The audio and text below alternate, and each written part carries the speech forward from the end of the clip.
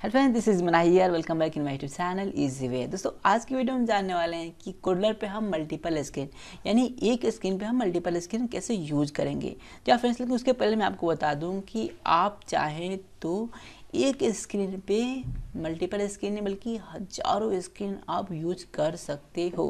क्या फ्रेंड्स, जैसा कि मैं आपको बताऊँ कि आप यहाँ पे कुडलर पे या फिर एपी बिल्डर या थंकेबल, कहीं पे भी आप ऐप बनाते हो तो आपको मैक्सिमम लिमिट जो स्क्रीन की होती है, वो आपको 10 ही होती है। जैसे कि आप यहाँ पे देख रहे हो, मैंने कुडलर पे यहाँ पे 10 स्क्रीन मैंने जनरेट कर लिए हैं। देख रहे हैं आप?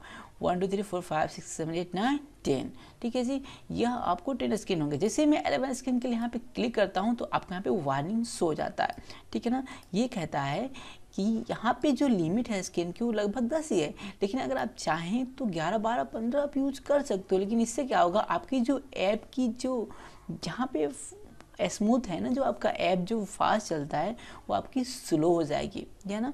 और यह आपका ऐप किसी के डिवाइस को भी अफेक्ट कर सकता है। इसीलिए इन्होंने 10 ही स्क्रीन लिमिट दिया हुआ है। ठीक है जी? तो मैं कहूँगा कि यहाँ पे अगर नियम से चला जाए तो आप यहाँ पे एक ही स्क्रीन पे 10, 15, 20 स्क्रीन यूज़ कर सकते हो। ठीक है फ्रेंड्स ये कोई वीडियो टिप्स एंड ट्रिक नहीं है।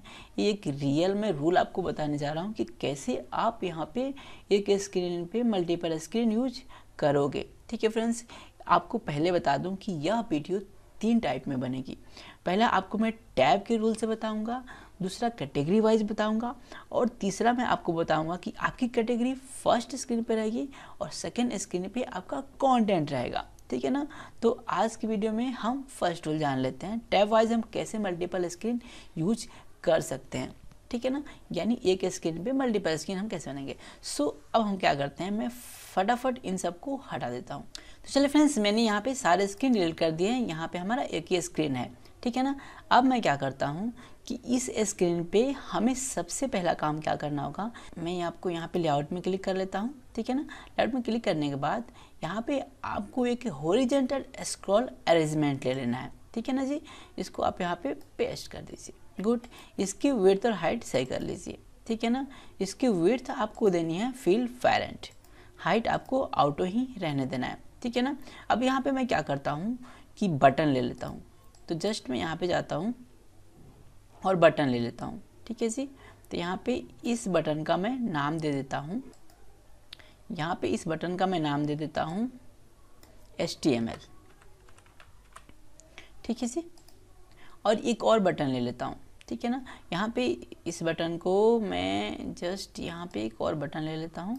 इसका मैं नाम दे देता हूँ पी ठीक है जी? और उसके बाद एक और बटन ले लेता हूँ। इसका मैं नाम देता हूँ जावा। ठीक है जी। आप देख सकते हैं यहाँ पे मैंने तीन कैटेगरीज दिया हुआ है, ठीक है ना? और तीनों कैटेगरीज को मैं स्क्रीन बनाने वाला हूँ, ठीक है ना? नहीं एच पे क्लिक करो तो मैंने एच का कंटेंट दिखाई दे पीएचपी पे क्लिक करो तो पीएचपी का कंटेंट दिखाई दे, और जावा पे क्लिक करो तो जावा का कॉन्टेंट दिखाई दे। और इन तीनों केस में जब एच पे क्लिक करूँ तो ये सारी चीज़ें ना दिखाई दे पीएचपी और जावा के कॉन्टेंट और पी पे क्लिक करूँ तो इन दोनों के कंटेंट ना दिखाई दे। तो फ्रेंड्स यही चीज़ हम वन स्क्रीन पे जानने वाले हैं। कैसे वन स्क्रीन पे हम मल्टीपल स्क्रीन बनाते हैं। तो अब हमें क्या करना है कि इन सबको यहाँ पे नाम दे देता हूँ। ठीक है ना? तो यहाँ पे इन सब के भी नाम में सेम दे देता हूँ। ठीक है ना? बटन को भी मैं H T M L B T N कर देता हूँ। ठीक है जी? गुड अब इस पे मैं पी एच पी को भी P H P B T N दे देता हूँ। ठीक है जी?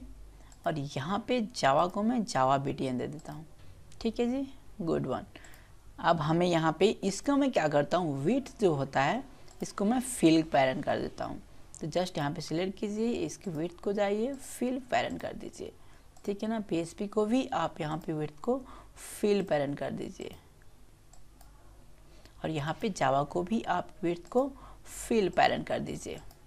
गुड अभी थोड़ा अच्छा दिखाई देने लगा। ठीक है जी। आप इसके कलर को भी आप चेंज कर सकते हैं, लेकिन मैं इसे फ़िलहाल यही रहने देता हूँ। अब ये हो गया हमारा मेनू ठीक है ना? जैसा कि आप यहाँ पे इसे कैटेगरी भी बोल सकते हैं। उसके बाद से अब आपको स्क्रीन के लिए क्या करना है तो वो भी मैं आपको बता देता हूँ।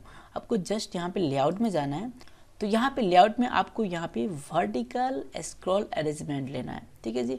इसको ड्रैग करके यहाँ पे रख दीजिए। अब इसमें आपको क्या करना है, यह आपका क्या होगा? तो यहाँ पे मैं इसका नाम दे देता हूँ H T M L screen ठीक है जी? यहाँ पे स्क्रीन में इसलिए लिख रहा हूँ ताकि आपको समझ में आसानी होगी। ठीक है ना जी? ये H T M L screen के लिए हमारा हो गया। ठीक है? मैं यहाँ पे ओके कर देता हूँ। अब मैं इसकी विथ और हाइट को फील पैरेंट कर दूँगा। ठीक है? गुड और यहाँ पे विथ को भी फील पैरेंट कर देता हूँ। ताकि इसके अंदर जो भी हम कंटेंट डालेंगे फ्रेंड्स वो सारे का सारा हमारा स्क्रॉलेबल होगा। देख रहे हैं ना, बिल्कुल स्क्रीन की तरह फीलिंग आएगी। ठीक है जी? तो यहाँ पे फ़िलहाल मैं आपको एक लेबल दे देता हूँ, ताकि मैं जब भी इस पर क्लिक करूँ तो हमारा दिखाई दे और समझ में भी आए। तो यहाँ पे यूज़र इंटरफेस में जाता हूँ और यहाँ पे एक लेबल ले लेता हूँ। गुड अब इस लेवल को मुझे सेंटर में लाना है तो जस्ट ऊपर की तरफ़ जाऊँगा। ठीक है ना? सेंटर ले लेता हूँ। ठीक है? यहाँ पर मैं कुछ लिख लेता हूँ। यहाँ पे एटी कर देता हूँ, एटीन देन उसके बाद से मैं इसको लिख देता हूँ। ठीक है ना? यहाँ पे मैं लिख देता हूँ स्क्रीन ठीक है ना? यहाँ पे नहीं, मैं यहाँ पे लिख देता हूँ एच स्क्रीन ठीक है जी? ठीक है मैं यहाँ पे लिख दिया एच स्क्रीन ठीक है जी? ठीक, अब आपको काम क्या करना होगा इसको सिलेक्ट करने के बाद। जस्ट आपको बैक जाना है, ठीक है ना? आप देख सकते हैं जो एच स्क्रीन लिखा हुआ है, इसके अंदर ये लेवल है, देख रहे हैं ना? ठीक है ना? तो इसको आपको सिलेक्ट करने के बाद जस्ट ओपन करने के बाद, हमें विजिबिलिटी को ऑफ़ कर दीजिए, ठीक है ना? आपको ध्यान रहे कि आपकी ये विजिबिलिटी अब ऑफ़ हो चुकी है। ठीक है? अब हमारा नेक्स्ट काम क्या होगा? इसको आप मिनिमाइज करेंगे ना, पता चलेगा कि हाँ आपका जो लेवल है, इसके अंदर है। इसीलिए यहाँ पे ऑन ऑफ़ यानी मिनिमाइज यहाँ पे ऑन भी हो सकता है। देख रहे हैं ना? उसके बाद से आपका सेकेंड काम क्या हुआ? कि जस्ट आपको फिर से आपको जाना है लेआउट में। लेआउट में जाने के बाद आपको यहाँ पे फिर से वर्टिकल स्कॉल अरेंजमेंट लेना है। इसको आपको नाम दे दीजिए जस्ट यहाँ पे P H P screen good अब आप यहाँ पे इसको ओके कर लीजिए। इसकी विड्थ और हाइट को आप यहाँ पे फिल पैरन कर दीजिए। गुड वन इसके अंदर मैं एक लेवल डाल देता हूँ। इसको मैं सेंटर करता हूँ। सेंटर करने के लिए आपको जस्ट जिस स्क्रीन का नाम आपने दिया हो ना जस्ट इसको सिलेक्ट करने के बाद आपको यहाँ ऊपर की तरफ़ जाना है। आप देख सकते हैं यहाँ पे मैंने क्या सिलेक्ट किया हुआ है। पेज जो स्क्रीन में नाम दिया हुआ है, ठीक है ना? इसको मैंने सेलेक्ट किया जस्ट यहाँ पे मैं सेंटर करूँगा सेंटर हो जाएगा। फिर मैं लेबल को सिलेक्ट कर लेता हूँ और इसकी टेक्स साइज़ को एटीन पिक्सल कर देता हूँ। ठीक है जी? और यहाँ पे मैं इस पर नाम लिख देता हूँ। ठीक है ना? यहाँ पे पी एच पी स्क्रीन देता हूँ। ठीक है जी? ओके अब उसके बाद से हमें क्या करना होगा कि जस्ट मैं फिर से इनको सिलेक्ट करने के बाद इनको भी मैं हाइड कर देता हूँ। जस्ट मैं यहाँ पे विजिबिलिटी को हाइड कर देता हूँ। उसके बाद अब आपको क्या करना है? आपकी बच्ची थर्ड नंबर यानी जावा की। ठीक है ना? फिर से आपको वही काम करना है कि जस्ट यहाँ पे लेआउट में जाना है। और लेआउट में जाने के बाद यहाँ पे वर्टिकल स्कॉल अरेंजमेंट ले लीजिए और यहाँ पे स्क्रीन पे इसे छोड़ दीजिए। ठीक है? फिर से आपको हाइट यहाँ पे फेल पेरेंट रख दीजिए विथ को आप फेल पेरेंट रख दीजिए। ठीक है ना? यहाँ पे एक लेबर रख दीजिए। जस्ट एक लेबल ले लीजिए, ठीक है जी। और यहाँ पे आप इसको दे सकते हैं, जावा स्क्रीन नाम दे सकते हैं। ओके पे क्लिक कर दीजिए, ठीक है जी। अब आप इसको सेंट्राइज कर लीजिए। गुड, लेबल को सिलेक्ट करके एटीन पिक्सल कर लीजिए। और यहाँ पे आप लिख दीजिए जावा स्क्रीन ठीक है जी? ये हो गया। अब हम इसको हाइड कर लेते हैं। यानी पूरा का पूरा इस स्कॉलरिजमेंट को लेकर के हाइड कर देते हैं विजिबिलिटी ऑफ़ तो फ्रेंड्स मैं आपको यहाँ पे दिखा देता हूँ। कि आप देख सकते हैं, यहाँ पे मैंने एक हॉरिजेंटल स्क्वायर अरेंजमेंट लिया है, जिसके अंदर H T M L page भी जावा मैंने दिया हुआ है। आप देख सकते हैं ये, ठीक है ना? अब इसको मैं मिनिमाइज़ करूँ तो इसके अंदर क्या है? पी एच पी यहाँ पे H T M L page भी जावा ठीक है जी? उसके बाद से मैंने एक और यहाँ पे यहाँ पे वर्टिकल स्क्वायर अरेंजमेंट लिया था। आपको मैं यहाँ पे दिखा दूँ, आपको लेआउट में मिल जाएँगे। जस्ट यहाँ पे जाएँगे वर्टिकल स्कॉलर अरेंजमेंट लिया था मैंने, ठीक है ना? इसका मैंने नाम दे दिया है। जस्ट मैं नीचे की तरफ़ से आता हूँ। एस स्क्रीन मैंने दिया है एक का, उसके बाद से पी स्क्रीन और जावा स्क्रीन ठीक है ना? अब मैं काम करने वाला हूँ कि जैसे मैं एस टी पे क्लिक करूँ तो हमारा एस टी स्क्रीन दिखाई दे पीएचपी पे क्लिक करूँ तो पीएचपी स्क्रीन दिखाई दे, और जावा पे क्लिक करूँ तो जावा स्क्रीन दिखाई दे। अगर इन तीनों को मैं फ्रेंड्स ऑन रखता हूँ, अगर मैं इनकी विजिबिलिटी को ऑन रखता हूँ तो फ्रेंड्स ये तीनों के तीनों एक ही स्क्रीन पे हैं। मैं आपको दिखा देता हूँ। ठीक है, आप देख सकते हैं, मैंने तीनों को ऑन किया तो तीनों के तीनों मेरे एक ही स्क्रीन पे हैं। ठीक है ना? तो इस सिचुएशन में अगर आप इनकी विजिबिलिटी ऑन रखते हो तो तीनों के तीनों एक ही स्क्रीन पे दिखाई देंगे। ठीक है ना? लेकिन हमें एक ही स्क्रीन पे एक मल्टीपल स्क्रीन की तरह व्यू देना है। तो चलिए, अब मैं हम सबको हाइड कर देता हूँ। ठीक है जी? मैंने हाइड कर दिया। और इसे भी मैं हाइड कर देता हूँ। गुड यानी सारा का सारा मेरा हाइड हो गया कंटेंट अब हम चलते हैं ब्लॉक्स वाले पार्ट में। तो यहाँ पे हम आते हैं ब्लॉक्स पे हम क्लिक कर लेते हैं। तो फ्रेंड्स ये हो गया हमारे सारा का सारा ब्लॉक पार्ट्स देन उसके बाद आपको यहाँ पे बटन पे जाना होगा, जिसके अंदर बटन है मेरा। तो जब हम एच बटन पे क्लिक करें तो ये क्या करेगा? ठीक है ना? उसके बाद से मैं पी बटन पे क्लिक करूँ तो हमारा पीएचपी दिखाई दे। और जवाब पे भी क्लिक करूँ तो मेरा जवाब दिखाई दे। ठीक है ना? ये मैंने तीनों बटन ले लिया। अब हमें क्या करना है कि when S button click to ठीक है ना जब हम एस बटन पे क्लिक करें तो क्या होगा? वो क्या करेगा? तो एस का जो कंटेंट है, उसको ये विजिबल कर देगा। ठीक है ना? तो मैं यहाँ पे इस पर मैं क्लिक कर लेता हूँ एस स्क्रीन पे। ठीक है ना? जो मैं एस स्क्रीन का नाम दिया हुआ है। ठीक है जी? इसके बाद में यहाँ से ये जस्ट विजिबल वाले आपको ले लेना है। या फिर कोई भी ले लीजिए इसे आप यहाँ से उठाएँगे ना और यहाँ पे इसे ड्रैग करेंगे तो आपको यहाँ पे मैं थोड़ा सा नीचे कर लेता हूँ समझाने के लिए। इसके अंदर आप क्लिक करेंगे तो आपको विजिबल का ऑप्शन आ जाता है। ठीक है ना? ये आपको विजिबल, आप इसको आप चेक कर लीजिए। ठीक है ना? इसको सिलेक्ट कर लीजिए। ठीक है? उसके बाद से इसकी विजिबिलिटी क्या होनी चाहिए? यह यहाँ पे लॉजिक आपको मिल जाता है। ठीक है ना? इसकी विजिबिलिटी ट्रू हो जाए। तो मैं इसे यहाँ से ड्रैग करके यहाँ पे ड्रॉप कर लेता हूँ। Good one. अब आपको मेन काम क्या है कि जब हम यहाँ पे एच पे क्लिक करें तो हमारा एच का जो स्क्रीन है, वो दिखाई देने लगे। ठीक है जी? सेम यही काम मैं करने वाला हूँ। जब हम पीएसपी पे क्लिक करें तो क्या हो? पीएसपी वाला दिखाई देने लगे। तो चलिए यहाँ पे आपको जाना है। इसकी विजिबिलिटी को आपको ट्रू कर देनी है। तो जस्ट यहाँ पे विजिबल ले लेना है और इसी को कॉपी करके यहाँ पे ट्रू कर दीजिए। ओके जी? अब आपको एक और काम करनी है जावा पे यही काम आपको जावा पे करना है। ठीक है जी? ये गुड ठीक है?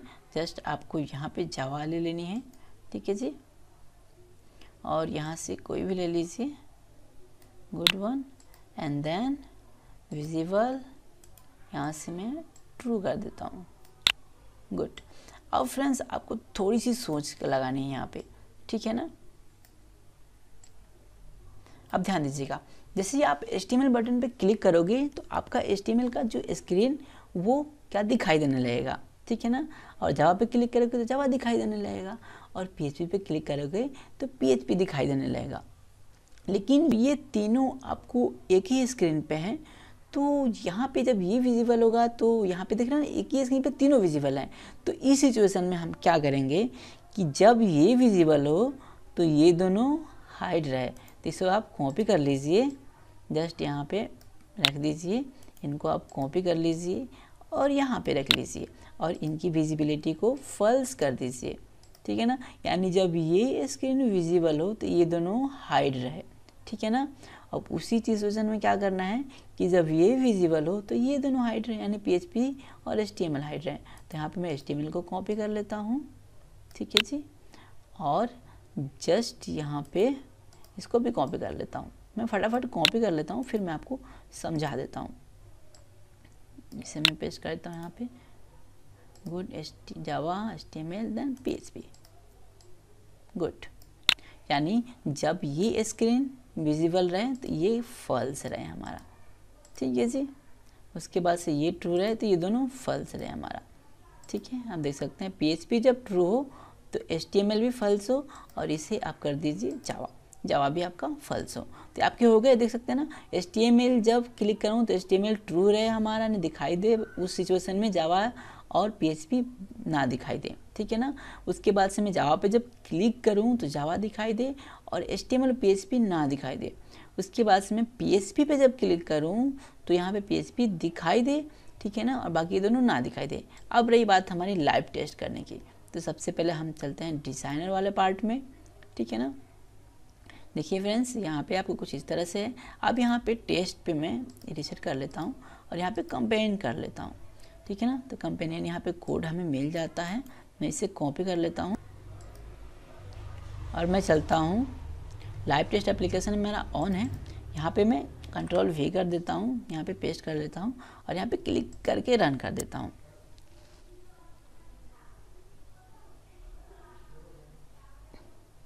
तो देख सकते हैं फ्रेंड्स हम यहाँ पे लाइव हो गए, ठीक है ना?